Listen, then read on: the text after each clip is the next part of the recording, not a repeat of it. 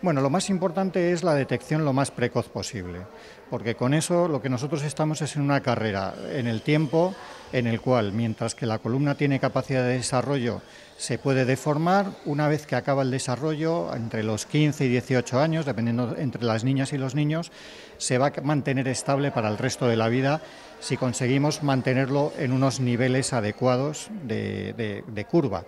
Entonces, lo más importante es, el diagnóstico lo más precoz posible. Dentro del tratamiento, el único tratamiento que ha demostrado ser capaz de parar la evolución de esa curva es la colocación de una ortesis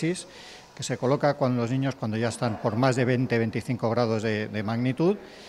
Y luego, independientemente de eso, es importante que los niños lleven una terapia eh, con fisioterapia y deporte para mantener un buen tono muscular.